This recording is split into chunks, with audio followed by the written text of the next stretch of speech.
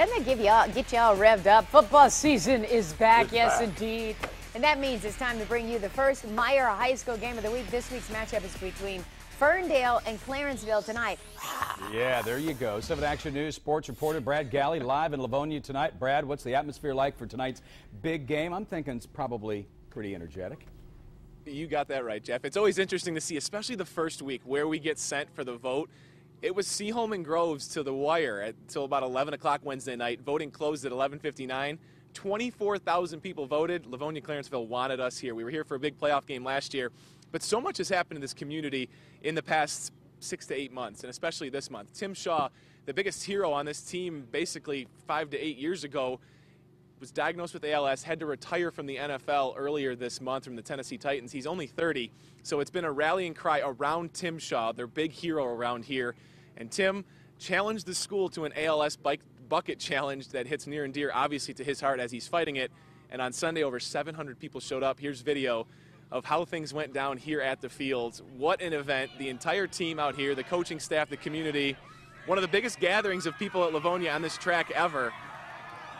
And it's all for Tim. And as the continuing fight goes on, Coach Tim Fry joins me here, a part of everything coming together here. You got a big smile on your face, Oh, and do. it seems like you have been.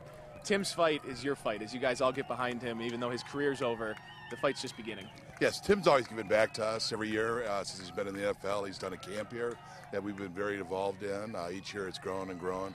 Uh, he's really given back everything. He's helped with the weight room, the kids, and so it's a way for us as a community to come together and give back to Tim.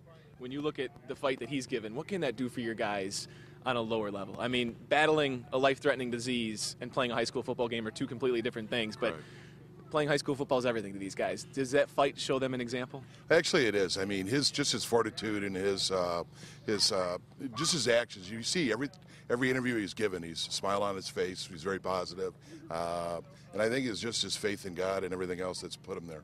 You guys have Ferndale tonight, coming off one of the best seasons in this program's history. The excitement buzzing in this locker room just to get the thing going. Oh, it is. It is. They're all excited. Uh, I have a few players from last year. The community's behind it. Everybody is just really fired up and ready to go. I know the cheerleaders are fired up. Come on in again. All right, girls.